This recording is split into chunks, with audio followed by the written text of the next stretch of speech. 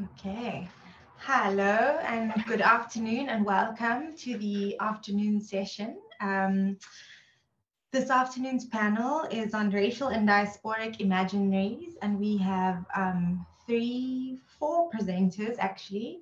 Um, and I'm going to um, just really stick to time and um, present Azille Coetzee and Bibi Burger to get us going. And um, yeah, like I said, in the interest of time, I won't say very much so that we have 15, 15 minutes at the end of the session to ask all our panelists um, some questions or engage them with comments. Um, and we're very much looking forward to this. Thank you all for being here. Azil, over to you.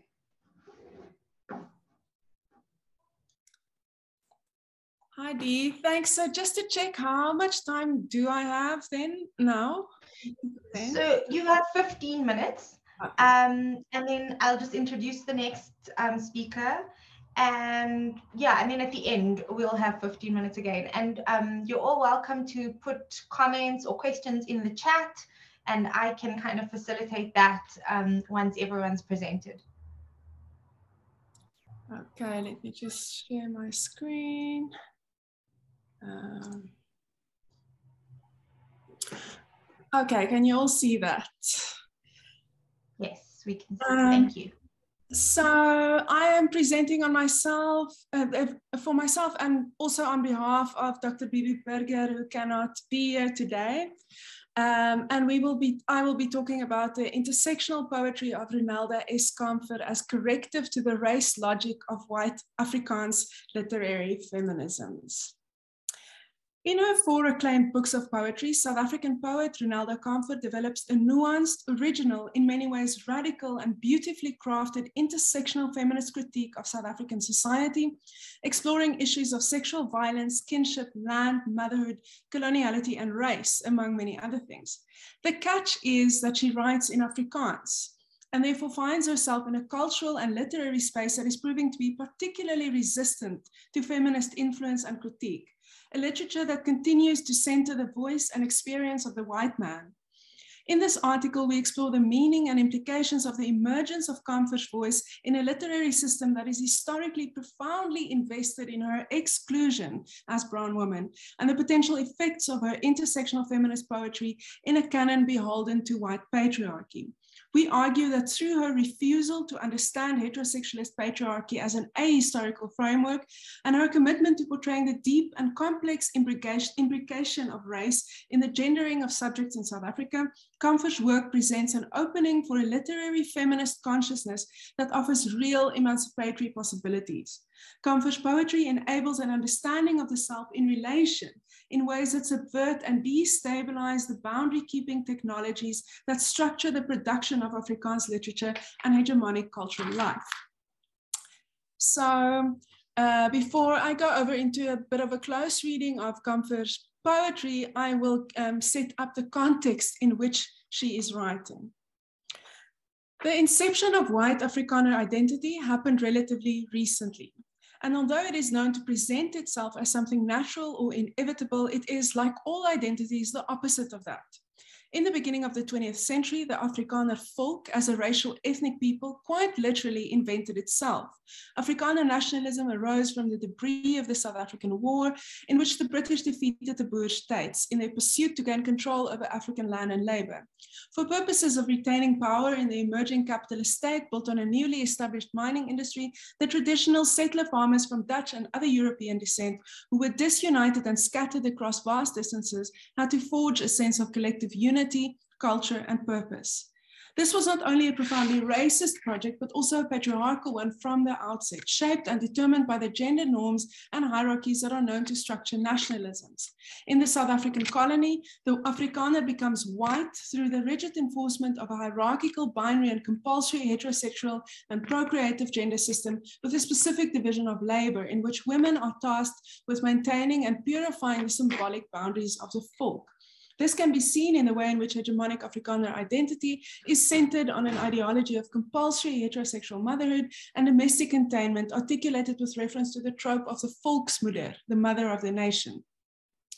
the vehement guarding of the white woman's sexuality against the perceived threat of black male carnality, and the apartheid regime's obsessive policing of white women's reproduction, among many other things. To complicate things further, the racial and gender elements of Afrikaner nationalism are also tightly interwoven with class. In a colonial setting where whiteness required wealth and vice versa, the movement of Afrikaner nationalism that culminated in the official institution of the apartheid policy in 1948 was powered by a relentless pursuit to uplift Afrikaners to middle class status in the capitalist economy. Race, gender, and class were therefore inseparable in the forging of Afrikaner identity. In her subjugation and domestic containment, the white Afrikaner woman bears the symbolic and existential burden of maintaining the racial unity of her people and the coherence of its colonial identity. The emancipation of the Afrikaner woman in this order constitutes nothing less than a threat to the ethnic survival and material privilege of her people. It is therefore no surprise that the culture does not easily produce feminism, and much less so feminism interested in thinking and working intersectionally across categories of gender, race, and class. Even if Afrikaner nationalism as a movement and ideology was distinctly patriarchal in nature, Afrikaner women were not, were not simply passive receptors of politics, and their role was not purely supportive and domestic. By taking part in the shaping of the volksmoeder identity and exercising agency in the realm of the household, Afrikaner women willfully played a crucial role in the construction of the white Afrikaner as self-ethnic, self-conscious ethnic and class group. Literature and language were instrumentalized in pivotal ways in the creation of the Afrikaner folk after the South African War. At this point, the war-torn Dutch speakers did not have as much as a language in common, but spoke a medley of High Dutch and local dialects with smatterings of the slave Nguni and Khoisan language, The Khoisan languages scorned as Kombuistaal of house servants, slaves, and women. The nationalist project of inventing of Afrikanerdom as ethnic identity was founded in an elaborate labor of purging or purifying this Kombuistaal of its indigenous rural associations and instituting it as a mother tongue of the Afrikaans people. So again, it's no surprise that Afrikaans literature as a literary tradition, which has many canonized writers, has no pronounced feminist tradition. And there are exclusions. Here we see some uh, Afrikaans feminist writers. There are exceptions. Here we see some uh, white Afrikaans feminist writers. Uh, but generally, uh, their work does not go across the intersections of race and class, although um, Marlene van der in front um, did work very well across class. But um, generally, the uh, iterations of feminism in this literary canon uh, is not intersectional and is not common. So historically, Afrikaans literature functions in service of the development and maintenance of a middle-class Afrikaner whiteness that justifies and naturalizes its oppressive existence through a mythologized patrilineal relationship to land. It is a literary tradition primed towards the cause of an identity project that depends on the hardening of boundaries, the deepening of binaries, and the vehement avoidance of thinking across categories. It's a liter literature from which the middle class man emerges as subject par excellence that exists against the foil of gender, class, and racial others. Uh, and their otherness are established with reference to the neutral standard of white middle class masculinity. In this tradition, the voice of the Black woman emerges with great difficulty. The first Afrikaans book published by a Black or Brown woman, the, story van Monica Peters by E.K.M. Dido was published only as late as 1996. In this tradition, a brown woman writer like Kamfer, who insists on thinking gender, race, and class hierarchies together, represents nothing less than a threat to the structuring logic of the canon. In the rest of this article, we explore the potential that Kamfer's challenge to the Afrikaans literary canon holds for intersectional feminist emancipation in the cultural and literary space of Afrikaans. From the very first poem in Ronelda Kamfer's first collection, Nou dat slapende honde, Now That Sleeping Dogs, in 2008, she has been concerned with her position as a brown woman writing, writing, writer, writing in a language and literary system built on the tenets of white supremacy and the negation of Black voices. She says, uh, and all the poems that I will be reading here, um, we translated ourselves from the Afrikaans. It's originally written in Afrikaans. Now I'm sitting round a table with my forefathers' enemies. I nod and greet politely, but somewhere deep inside myself, I know where I stand. It is clear that the speaker in this poem views her position within the Afrikaans literary system as marginal. marginal. In idiomatic terms, she is invited to take a seat at the table, but she knows that underlying this invitation is a fundamental rift between herself and her forefathers' enemies, with which she means the white establishment. Kamfer explains that this poem deals with her, and I quote, she says, awareness of the fact that I was a token colored invited to po poetry events and festivals in order to remind Afrikaans speaking white people that they were inclusive and not racist.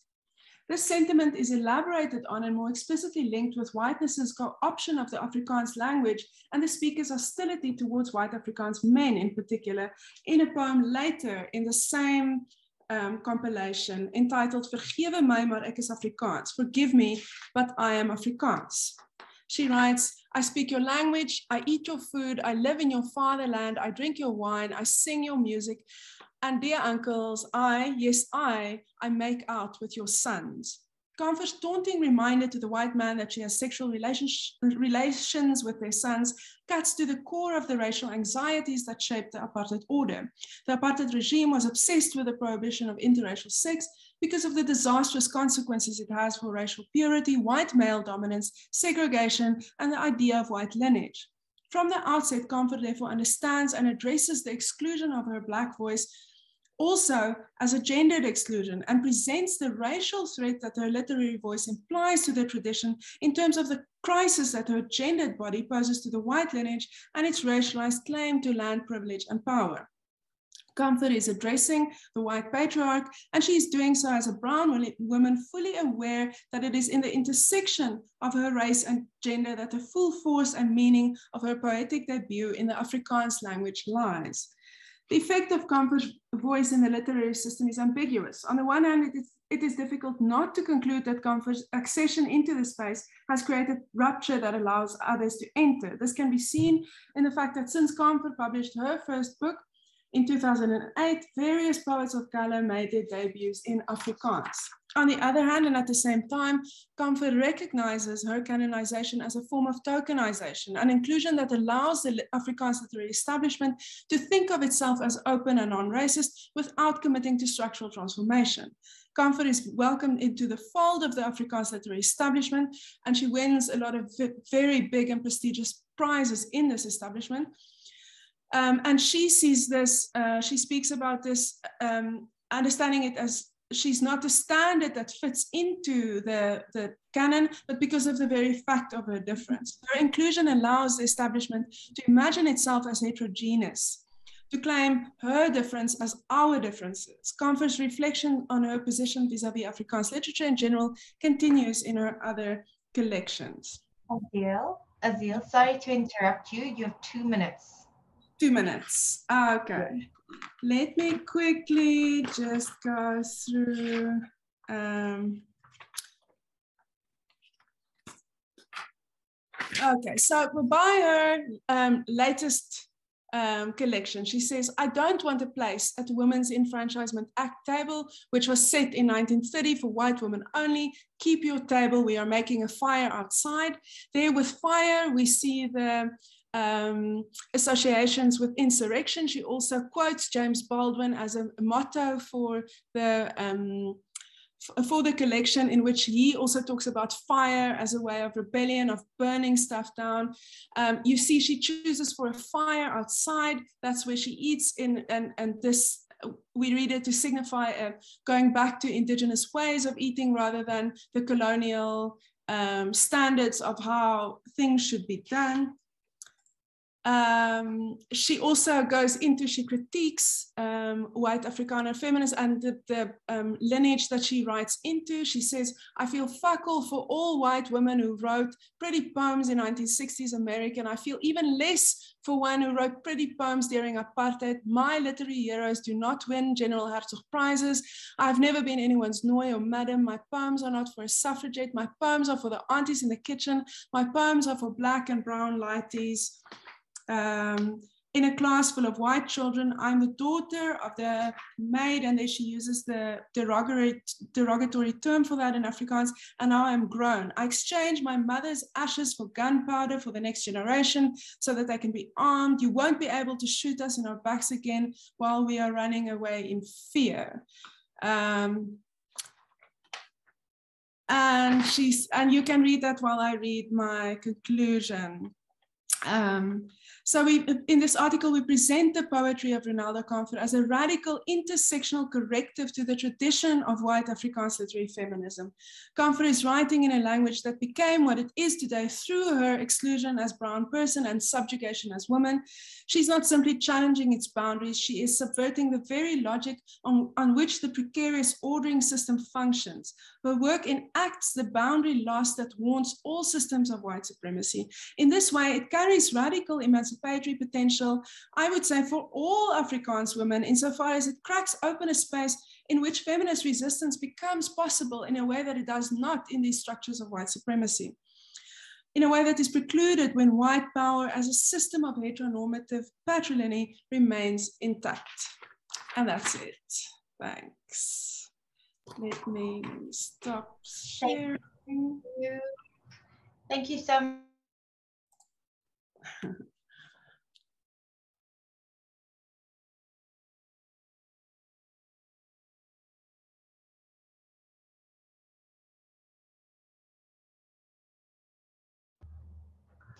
Sorry, I'm not quite sure what happened. Thank you so much, Azil. Um, thanks, that was really fascinating. I'm so much looking forward to um, unpacking a little bit more of that later on.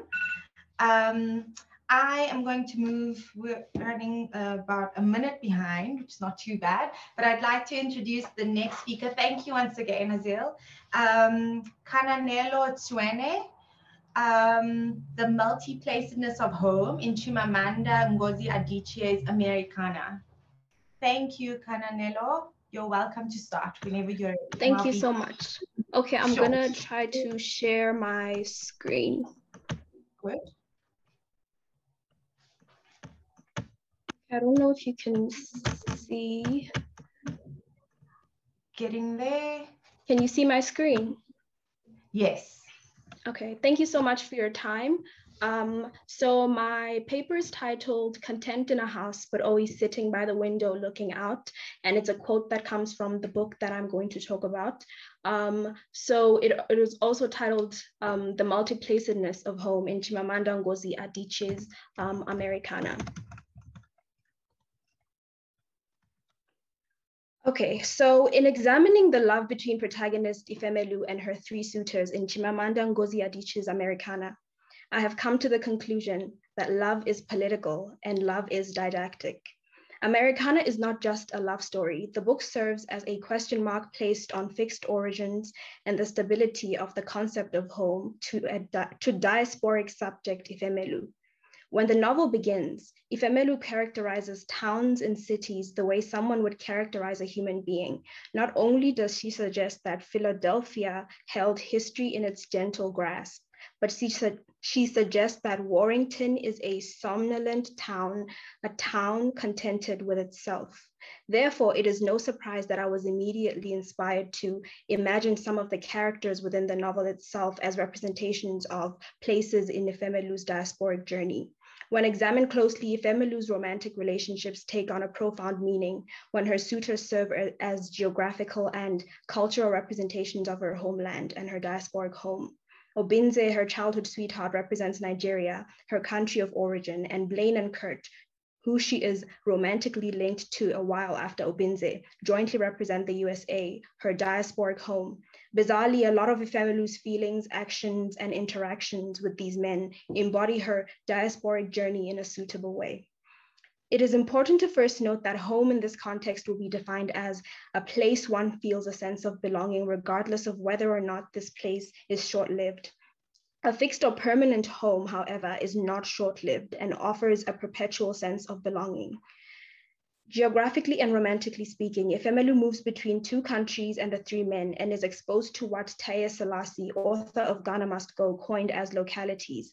These are rituals, relationships, restrictions that make a person a local in more than one place. As a result, Ifemelu is not limited to her nation of origin, and in the alternative case, one man, which is Obinze. By not really staking claim to Nigeria or the USA as her permanent fixed homes, the novel points to the fact that the diasporic subject can be anchored to their homeland, but that does not guarantee that they will remain in it after returning. Although Ifemelu experiences homesickness for her home for her homeland and alternatively displays more preference for Obinze as a love interest, social impediments and exclusions that come with the newly democratic Nigeria influence her perceptions of her homeland, just as she realizes upon her return that the Obinze she reunites with is not the Obinze that she remembers or she knew. This paper critiques and agrees with Avtar Brah's theorization of the multiplacedness of home, which acknowledges that a diasporic subject can feel anchored to their homeland regardless of multiplacedness.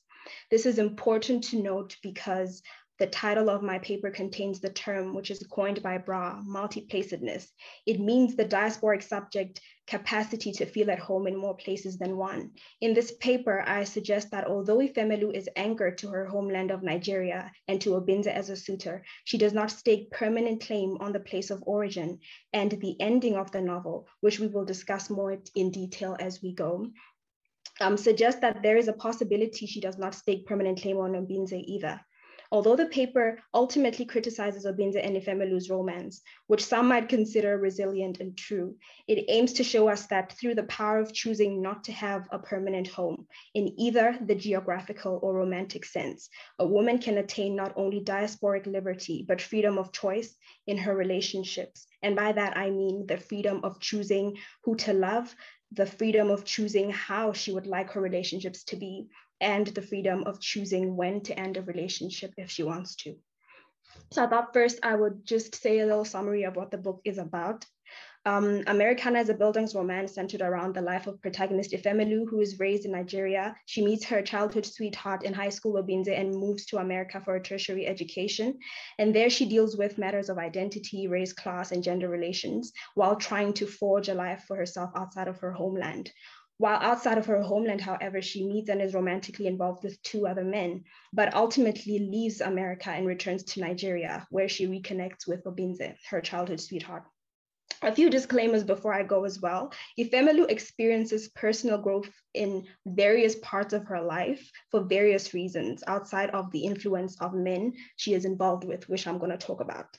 Um, so there's more to it. Um, although it may initially seem odd to use men as representations of her home, and as represent as the holders of her sense of belonging as it defeats the purpose of a woman's liberty to some extent it will be clear eventually when i finish um, that she has equal power as a woman Lastly, this paper does not suggest that Ifemelu's intentions are inauthentic or villainous. It solely seeks to acknowledge her power and her adaptability in the situations she finds herself in. Okay, so localities.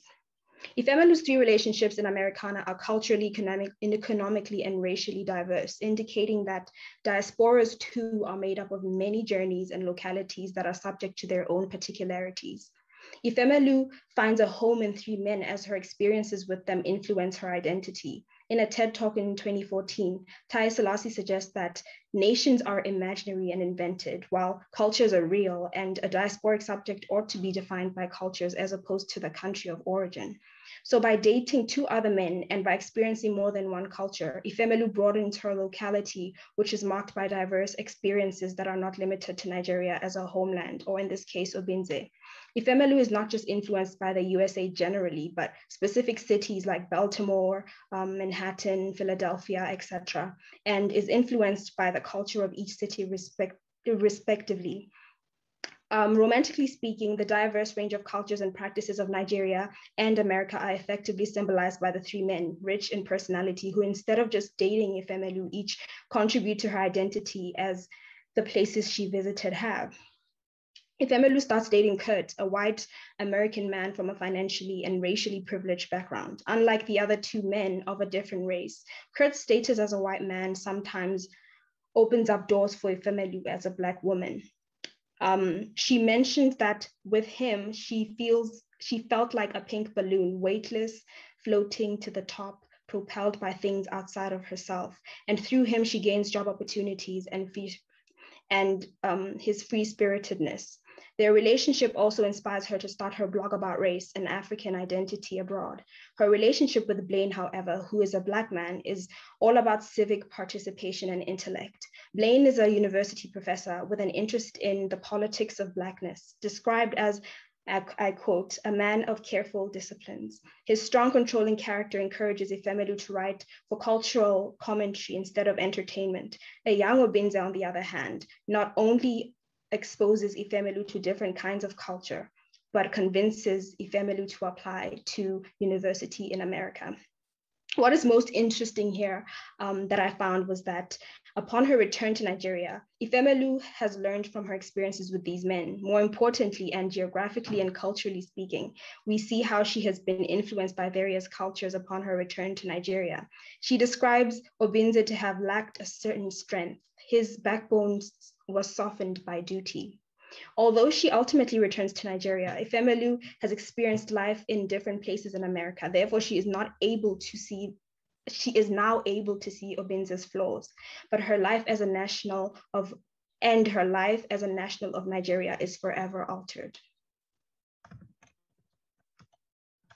So physical and metaphorical borders. The concept of the diaspora is often linked to the idea of physical and metaphorical borders. In this novel, physical borders separating Nigeria and other countries can be seen as a metaphor for cultural, racial, and economic boundaries. Although she struggles, Ifemelu, as a diasporic subject, is able to overcome physical and metaphorical boundaries. Physical boundaries can be described as dividing lines that separate territories and hinder uncontrolled movement. Upon her arrival in America, Ifemelu is made aware of these borders, which make her as a foreigner, which make her a foreigner. When she attains a study visa but does not have a visa to work and make a living.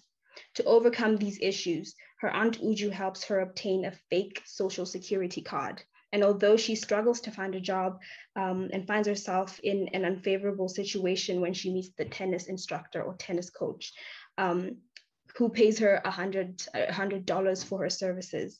Um, Ifemelu overcomes this by landing a job as Kimberly's children's nanny, and later on in the novel, um, Kurt sets her up with a job interview in public relations in Baltimore.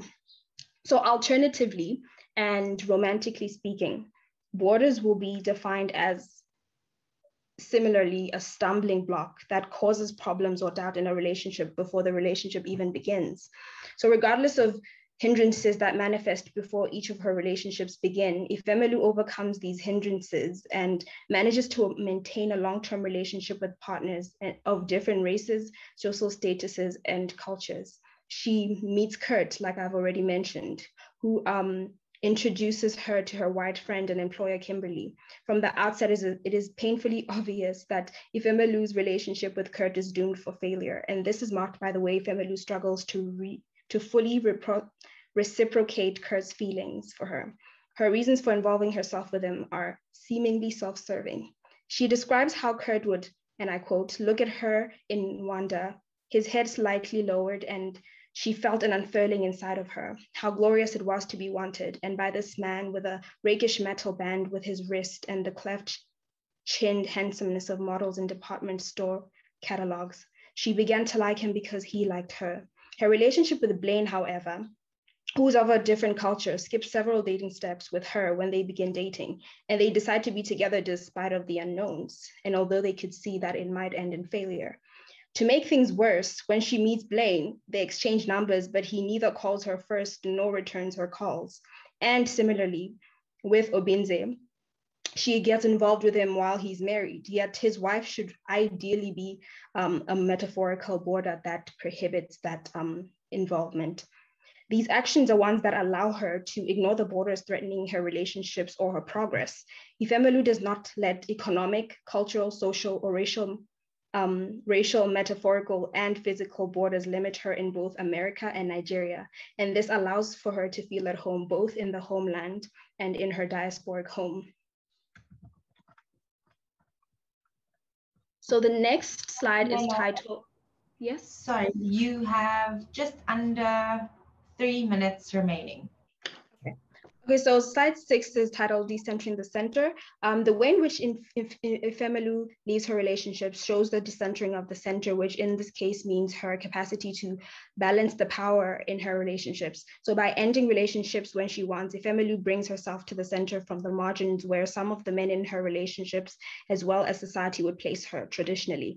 Ifemelu's um, actions show her freedom to not only let the men dictate the fate of her relationship, but she shows her ability to look past herself as a racial, economic, and cultural minority. This decentering of the center is seen through her return to her homeland from her diasporic home. So from, from America, Ifemelu voluntarily returns to Nigeria. Although she's not completely happy there, she leaves the diasporic home, which is the USA, for the home country, which is Nigeria, potentially indicating that perhaps Nigeria as a home country is seen by her as worthy of settlement, just as a diasporic home is. Um, and because um, the diasporic home is often seen as economically um, superior than the homeland. Um, so it kind of brings both countries to an almost equal level. And alternatively and romantically speaking, um, Curl, I mean, Kurt, who's the white man that she dates, cheats on her. And this makes Ifemelu feel, and I quote, small and ugly, not long after, Ifemelu cheats on Kurt with a younger man from her department building, suggesting that the reason was to create rough edges, to squash Kurt's sunniness even just a little. Moreover, Ifemelu ends her long relationship with Blaine, stating that she stayed even though she knew she had not been happy in the relationship for a long time. She states that her relationship with him was like, and I quote, content in a, being content in a house, but always looking out the window, um, always sitting by the window looking out. And then the third man, Obinze, Ifemelu first ends the relationship when she stops communicating with Obinze upon her arrival in America. And she also ends the relationship when she realizes that Obinze has plans to continue seeing her while married to Kosi. She tells him to go to hell and locks her door and tells him to leave. Ifemelu's long, longtime friend Ginika, on the other hand, tells her that she thinks she is a self-sabotager. I think that Ginika is right by saying that. And the reason I say that is because um, although self-sabotage is a negative behavioral trait, there is a protection of power in self-sabotage. And what I mean by that is that um, often when someone self-sabotages, they hold themselves back. But the reason that they hold themselves back is because there's a level of power over your own life that you are trying to preserve. So all of these three instances show um, show us Ifemelu's power to control what she considers her home and how long her and to um, kind of control the time um, of her relationships or her diasporic journey.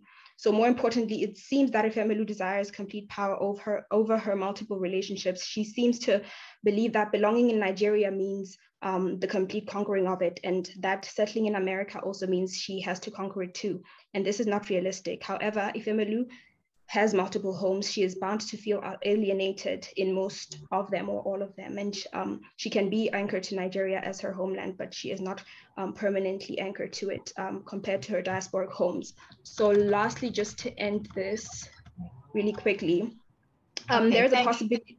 Oh, sorry. Sorry, you're just you're out of time, but I'll you can go ahead and finish up. I'll give you one okay. last minute before I start waving. Okay, okay. Finally, there's a possibility that Obinze and Ifemelu would not live happily ever after, and alternatively, Nigeria could possibly not serve as Ifemelu's permanent home. As mentioned before, Ifemelu's identity has been transformed by her account encounters in her diasporic home. Although there is a finality to Ifemelu's last words to Obinze, which say, come in, the longevity of their relationship is still not guaranteed.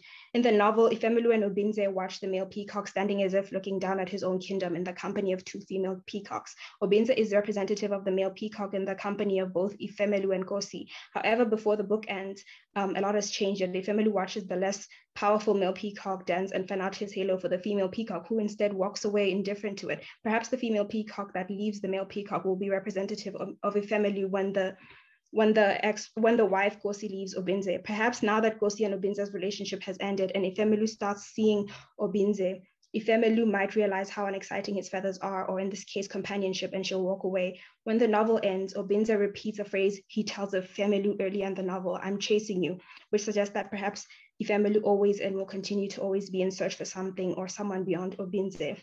Um, so this is not as bad as you think. In the end, she's no longer just Nigerian Ifemelu, but an almost um, cosmopolitan Ifemelu who is not tied down by just one fixed home. Yeah. Thank you so much, Kananelo. Thank you, Thank you so much. Okay.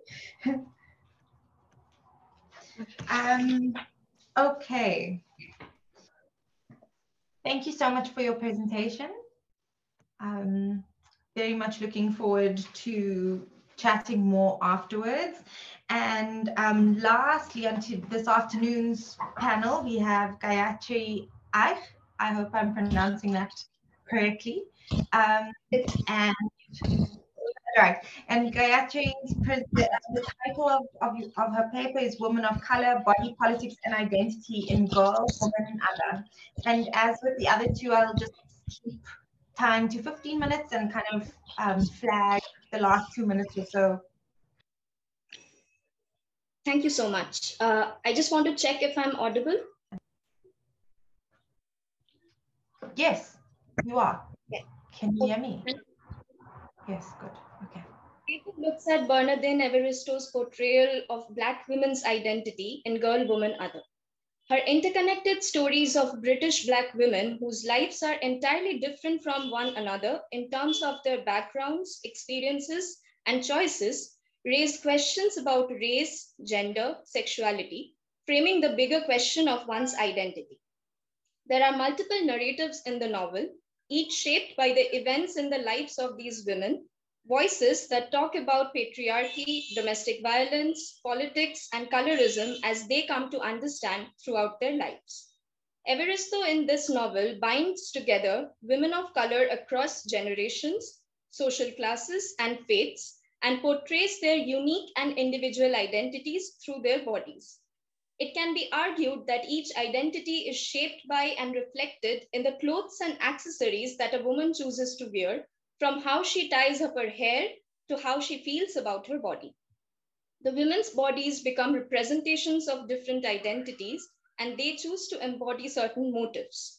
In Girl, Woman, Other, the details such as a sequined hijab, the hoop earrings, the hair gelled down and parted, or the navy blue trousers paired up with a white shirt are all significant because they reflect the very politics of the relation between clothing and fashion and identity, social, cultural, and gender. The racial, gendered, and sexual identities of women are highly influenced by what society wants them to be, how it expects them to talk, how it tells them to dress and behave, how it distinguishes who a good woman and a bad woman are based on these very basic and everyday characteristics. This paper focuses on identity shaped by clothing and fashion and how it is linked to the consciousness of the women in Evaristo's novel. Everyday events affect a person's consciousness, which tends to leave a long lasting impression on what becomes the default thought process of that person's mind. When we look at the lives of each of the women in the text, there is a distinct pattern that shapes them. Each young girl is inspired by an independent woman each young girl wants to present herself in certain ways that are acceptable or rather appreciable in the society. There is a constant pressure on the minds of young women to be able to look beautiful in terms of what she puts on and what she confidently walks in, even if it is not the kind of clothing that she feels comfortable in.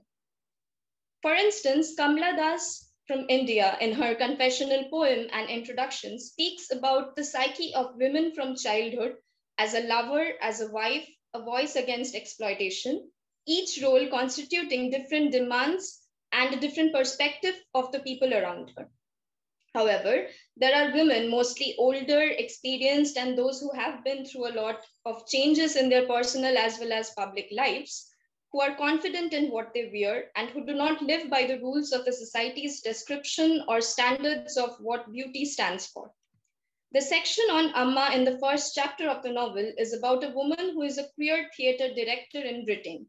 Here, Amma reflects upon her struggles as a young Black actress and the challenges she had faced while creating her own theater company. Amma is also seen introspecting about the surprising turn of events in her life with the birth of her daughter Yaz, who has just begun college. Year round, her peroxide dreadlocks are trained to stick up like candles on a birthday cake. Silver hoop earrings, chunky African bangles, and pink lipstick are her perennial signature style statement. This section of the novel describes how Amma chooses to dress up. Evaristo talks about how the traditional theater industry in Britain through several years had looked down on actresses on the basis of the color of their skin and the clothes and accessories that they chose to wear. As her own daughter puts it, the mad old woman look is also how the society has described women of color who choose to wear what expresses their personality the natural hairdos of Black women are considered to be inappropriate or funny by the racist society. Emma Dabiri in Don't Touch My Hair argues, and I quote, that the desire to conform to the European aesthetic, which values light skin and straight hair, is a result of a propaganda campaign that has lasted more than 500 years. It is the imposition of a system that denigrates anything that is perceived as too African, unquote. The mad old woman look is a stereotypical identification of women of color, which leads to the fear of ignominy and otherization, thus forcing these women to hide their true selves down to something as basic as their hair. No matter how confident and opinionated Yaz as a young woman and daughter is, she refuses to be spotted alongside her mother because of the way her mother dresses. To her daughter, Amma is not a normal mother because of her patterned harem pants that end just below the knee, or the bright asymmetric shirts, jumpers, jackets, and coats. What defines normal here is perhaps how the white society defines how Black women should be presenting themselves in the streets or in the society. For women like Amma, to wear chunky African bangles is a way to hold on to their cultural identity. When a woman of color specifically wears clothes and accessories that are not considered to be fit for a society that calls itself multicultural and yet is racist, she chooses to hold on to something that forms a collective identity and reclaim her ethnic pride. Ornaments play a significant role in cultural communities across the world. There are various bangles, anklets, bracelets, and necklaces that are made of different materials such as copper, brass, gold, brass, or even beads, which have symbolic values and importance within various communities across the world. There is a specific kind of Shona spirit medium, which is also known as the. Apology, apologies if I'm pronouncing it uh, wrongly. And it can be identified with certain kinds of bangles made of gold, copper, and brass, known as the ndarira. It is important to note that these symbolic meanings not only differ across communities, but also may vary when these are being received by British Black women at various points of time in history.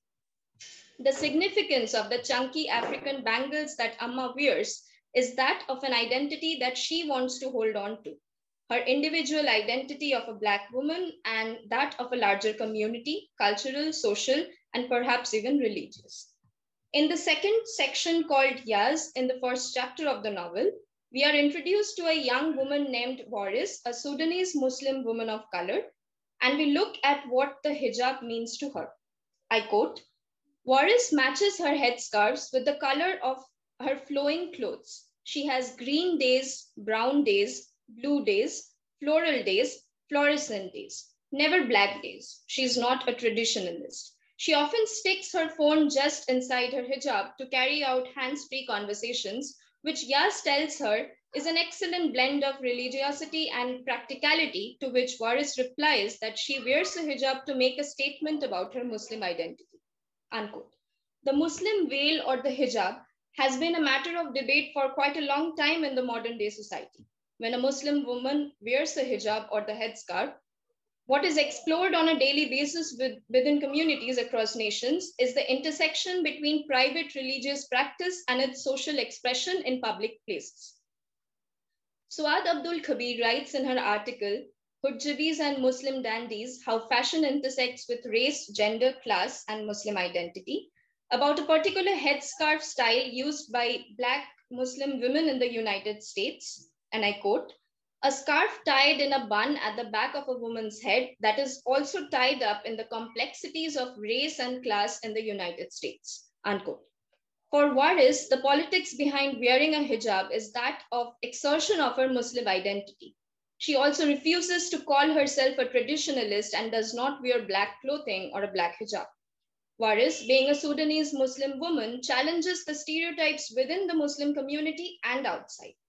The reason she wears a hijab is to confront the Islamophobic society that demonizes Muslims and how they perceive every Muslim person from their way of clothing to label them as threatening or terrorizing. The politics of Waris wearing a hijab, and that too of various colors and patterns, questions the discriminatory behavior towards Black Muslim women. The third chapter, the, the, the third section of chapter two revolves around the life of Latisha Kanisha Jones. This paper will focus on what the uniform means to Latisha and several other women like her and how the suit wearing woman is basically planning, uh, playing a pre-existing role in the society.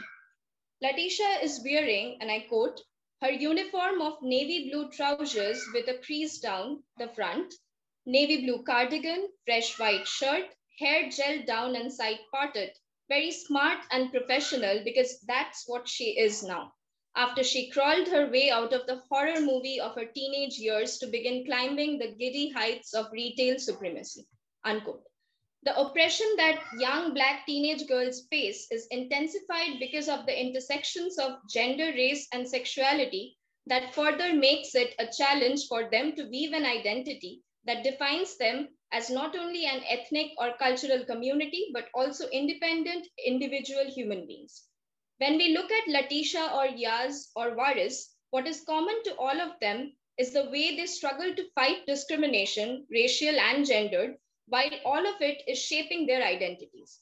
There are other important factors that come into play while shaping a young girl's identity, such as personal relationships, sexual orientation, religious beliefs, as well as political ideologies or beliefs.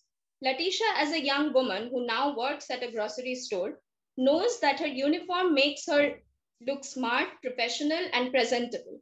The same to the same society that had looked down upon her during her teenage years because of the way she dressed or the way she presented herself, which included a clingy spangled dress and strappy heels when she had to go on a date.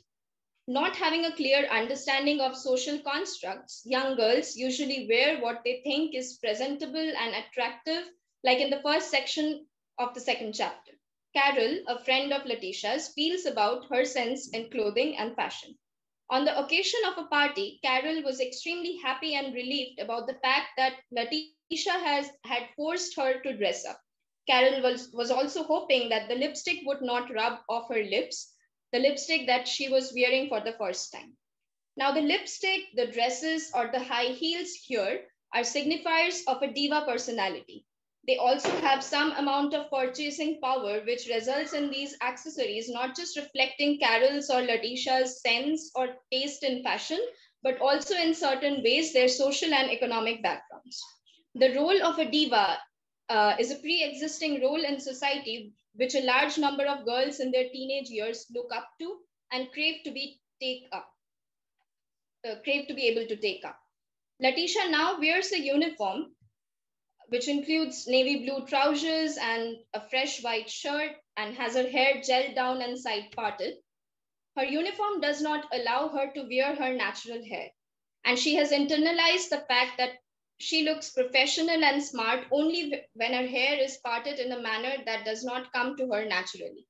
However, however different Carol's and Latisha's lives may have turned out to be, what is common about the two of them is how they have come to accept the established practices of capitalism in terms of how they dress for work. Gayatri, sorry, sorry to interrupt you. You have just under two minutes. Okay. It is not just hair when it comes to Black identities. the reason Latisha feels more presentable without her natural hair, or the reason Yaz feels that her natural hair would be problematic for the child sitting behind her in the classroom or the person sitting behind her in a theater audience, is because of the stares and the laughter that these women have experienced as young children. A news article published on 18th of November 2019 talks about some very recent cases of discrimination against women of color who wear their natural hair. Ruby Williams, an 18 year old girl, was 14 years old when she was told by her school that her hair breached the policy of the Urswick School in East London, which stated Afro hair must be of reasonable size and length. The third chapter of the novel begins with the section called Shirley, who, has a, who is a history teacher at the Peckham School for Boys and Girls when we talk about a woman who belongs to the Black community dressing up and styling herself, there is a certain kind of communication of ideas and self respect, cultural appreciation, and community pride. Further, clothing and fashion has played a major role in shaping and reflecting the individual identities and the lives of Morgan or Megan, as she used to be called before, and Bibi. In the fourth chapter, Megan describes how her mother unknowingly repeats the patterns of gender oppression on her. The adults in Megan's life, who are part of the conservative generation, attempt to fit Megan into society's gender norms. Megan's preference of wearing trousers instead of dresses as a young child was not acceptable in her family.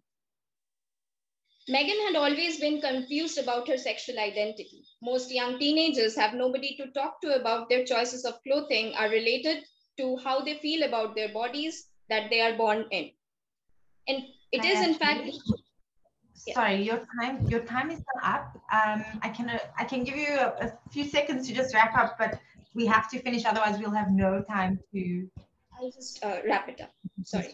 Thank you. Each woman in Evaristo's novel has her own choice of dressing, and each of them represents a certain set of common concerns or dialogues in the Black community. There are various body image issues associated with consciousness of women of color, racial, microaggression, aggressions or ignorance, hypersexualization, sacrifice or unacceptability of natural hair, and the validation and invalidation given by others performance of identity for black women involves a certain creating a certain kind of balance between what their private or cultural identity is and what would be best suited for their public or social identity which leaves a huge impression on their work life. Um, that will be all. Thank you so much. Thank you. Thank you so much. Okay. Thanks gayatri and thank you to all three our presenters. Um, I don't know if you'll want to put your mics on so that it feels a little bit um, more like a conversation. Um, I, are there any um, questions or comments? Um, have we lost? Oh, okay, there's Kananelo.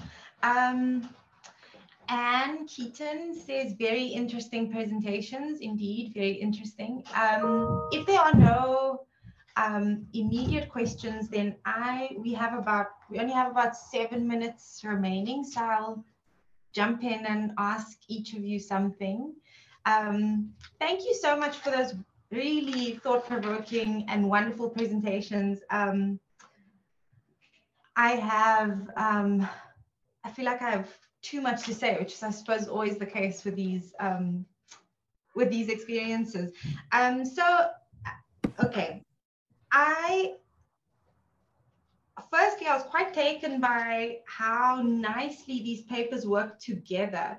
It's it's not it's not always the case, as you all obviously know, but I thought that there were such interesting points of connection. Um, and um, th that's not really the, the train of thought I wish to follow, but I just wanted to say that to the three of you. Um, but Azille, I uh, I, I was really intrigued by you know this this idea of um, Ronelda's Ronelda Kamfer's poetry, right? And how you, you you're you're clearly making this link between what she's doing with kind of Kaaps or even um, you know I suppose in an older uh, to use an older kind of linguistic uh, formulation um, which you also used, which is Kombuis Afrikaans, right? But I mean, really more Kaaps, right? Which is Afrikaans spoken um, by people of color in the in the Western Cape, and I, I thought that that was really interesting. But I was I was wanting you to say a little bit more about how you see her work as in could the way I understood the paper was that you're speaking about her poetry almost as though it is in response to white Afrikaner dom, right? Or white Afrikanerhood. Um, and I wondered a lot about how she seemed so alone, or her work seemed so alone, right? Whereas I immediately thought of um, uh, older poets, even, you know, people like um, Habiba Badiroun, Diane um, Ferrus, um, and, others. But just as you were speaking, I was just kind of making notes, and I thought about how this forms part of an ongoing body of poetry by uh, women of color or Black women poets about histories of being woman, being Black, using Afrikaans or using language or using using the kind of cultural tools um, that are not prescribed by whiteness. So I found it a kind of an interesting angle, and I, I wanted you to say a little bit more about that, or if I misunderstood you, to also say you you got it wrong, you know. Um, so that that was kind of what I was thinking thinking about listening to you. Um, there are other things also, but I can't say that now. And then um, Kananelo, um, I wanted to know you you ended with um, speaking about cosmopolitanism and Ifemelu as, you know, as she becomes this kind of cosmopolitan citizen, she is, uh, her multiple identities don't feel so foreign or as fraught, right? And so I wondered if you felt, um, my question is, how do you see Ifemelu's cosmopolitanism as important to how she's able to make sense of her multiple identities? Do you do you almost it's an unfair question a little bit but do you feel like uh, the the cosmopolitanism almost equates a kind of personal acceptance or is it an acceptance by this new home the new home space? Um, so yeah, I wanted you to say a little bit more about the protagonist's cosmopolitanism and how that helps her feel that she can hold these multiple identities and hold this kind of these multiple trans um, national experiences and call multiple places home, right? And then um, Gayatri, finally, um, I, I, I, I was really kind of touched by how you tried to weave together, you know, quite a a lot right in this in this narrative because all these women carry their own stories. Um and and so i you know the, the the one thing that kind of kept coming up for me was this historical relationship between um black identities in their multitude you know mul- how do you say that multitude of ways um and notions of respectability and how much of that is ingrained in um, in practices of beauty. And what came up for me was Elaine Salo's work on uh, it's an Afrikaans term called uh, it's ordentlikheid, and it basically means you know um, being respectable, like proper, and that filters into everything. So looking respectable, presenting yourself as respectable says something about who you are right and uh, i mean as you were raising as you were kind of speaking to each character and what the what the trait was what the beauty trait was um, you know the, the the common the, the common themes of course hair um, hair practices, you know, among Black women, accessories, and, and obviously clothing um, also came up for me uh, quite strongly. Um, and and yeah i was just really taken by um, the ways in which this notion of self-styling comes up so strongly and this relationship between self-styling and being or becoming a diva.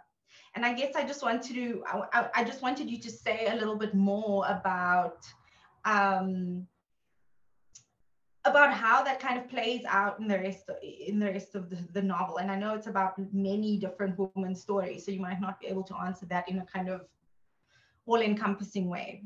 Um, yeah, but those are my my questions to each of you. We have no time left, but I'd like to give you each at least a minute to say something. Oh, and Anne has a question. Um, okay, I'm going to read Anne's question, which is to Gayatri very quickly. Kindly comment on the style of writing in Girl, Woman, Other, and does it in any way influence identities of the different characters in the novel? And in the interest of time, please feel free to either answer Anne or me. I, yeah, really don't mind. Okay, Azille, would you like to go for it? Okay, thanks for those nice questions, Dee. Um, so I think um, Bibi would be able to answer this question better because she's the literary scholar. But as far as I know, Ronelda Kamfer is really um, or was alone in the canon for a very long time. She's the first woman poet who is not white, who is published in. So I, as I understand, Diane Ferrus self-published. Um, so and then um, afterwards, now after Ronelda has published, we have seen other poets like Jolyn Phillips, like Lynthia Julius, like um, Ryan Pedro, Nathan Trantraal. Oh, these are my, those are men. But uh, the point is that for a long time, she was quite, and the reason why I put her against whiteness is because she's, so that the language itself we know is not white. It was, co- it was um, taken for the, um, and opted for the process of or the project of white nationalism, but the literary canon as it exists in, in Afrikaans with the machinery of publication, that comes from this formal Afrikaans that is really linked to this project of whiteness. And it is in this canon that Ronelda is writing in. So um, she has published in um, I think who was it? But there was a Our Words, Our Worlds, Our Worlds, Our Words, um, a compilation of poetry published, um, I think last year or beginning of this year, and there she was included with many other um, South African women poets of color, but they the, most of them are English. And I was at one of these launches, and she said it's so nice to be included in the space where she's not one of the only people who is not white at these super white literary events. So um, in a sense, in the institutionalized literary space, she has been quite alone for a while and it's changing now and those are the doors that she's opening. But this is really how um yeah bad or problematic the space is. So um yeah that's how i can answer. Fascinating. Thank you Azille thank you. Um Kananelo, before you go, there's a question for you. And again, I'll, you know, feel free to answer either one. Do you think, and this is from Muketsi, um, do you think Ifemelu's uh, story is an example of how migrants are constantly negotiating and wrestling with the idea of home, where they feel both foreign in their original home country, hence leaving it for, hence leaving it and foreign, and then in brackets in their new adopted home, as said by the poem of Ijeoma uh, Umebinyuo. Thank you. Um, thank you for that for those questions. I'll try to answer as quickly as I can. You asked me about um, personal acceptance, if she feels any sense of personal acceptance, and I don't get that from her, and I think that's why she was such an interesting um, person to to assess. Um, I think she still very strongly believes that Nigeria is where she's supposed to be. And just through my own interpretation, um, I had the feeling that it wasn't. And um, alternatively, I felt as if she also believed that Obinze was her soulmate or the man that she's going to always stay with. And there are a lot of instances in their past that suggest that this relationship is quite unstable, that it might not last. And similarly, um, her relationship with Nigeria, because she doesn't feel at home, it also suggests that she might not really stay there. So um, I don't think that she has accepted it fully. Um, I think she's still grappling with it in a way. Um, so I think there is a chance that she will become a fully fledged cosmopolitan woman once she decides to see more of the world. So that's just kind of the the the the, the impression I got from the ending, which I thought was quite indeterminate in a way. When he, she says come in it doesn't really suggest what she means and what's going to happen after that. And that's why i found it so interesting. Um, that's to answer the first question. And then for the question in the chat my answer for that is yes absolutely. Um, i mentioned it while i was talking as well i do think that she's a great example of, of, of of how migrants negotiate that idea of home. And for me, it was very personal as well because um, I thought it was quite relatable. Um, I mentioned that I felt as if she was trying to conquer both her homeland and her diasporic home at the same time, if that makes any sense. Or when she visits her um, homeland, she wanted to conquer her homeland in a way that she wanted to be a, a, a like a fully what would be considered like a, a, proper Nigerian. You know, she wanted to fully um, kind of adapt into that kind of society. And she also wanted to adapt into um, her diasporic home as well. And I thought that was unrealistic. You can't really expect to um, fit in in both places um, whenever you feel like you want to. So yeah, I definitely think that um, it's an example of, of, of that kind of struggle between yeah between your diasporic home as well as um your homeland that everyone i think almost everybody experiences. So yeah thank you for that question. Thank you. Thanks kananelo. Gayatri, would you like to go for it we uh, do have maybe two three minutes so you're welcome to to answer both if you wish Thank you. Um, so to first answer your question, um, it's actually difficult to because there are a lot of characters we uh, and their stories uh, taken together. But I think uh, what's very similar and common among all of them is the fact that um, their personal and professional relationships, their private and public lives, is what um, kind of changes how they look at their identities and how they are supposed to present themselves. So it's always about the connections at home and the connections outside that uh, sort of uh, influences how somebody really young, somebody in their teen years uh, is thinking of um, of what a diva personality of, of what it is exactly that defines beauty and what they are supposed to look like. Um, and um, uh, also similar to uh, Kananelo's uh, response to one of the questions, it's also about the you know the, the fully Nigerian identity or the fully black identity. Uh, there's this uh, completeness that uh, sometimes uh, somebody may not be able to um, represent in certain ways, but then that differs from one person to another on how they look at what you call being completely black because there is nothing uh, that defines it, it's very varied and it's very different uh, from different people's perspectives on what defines identity for them.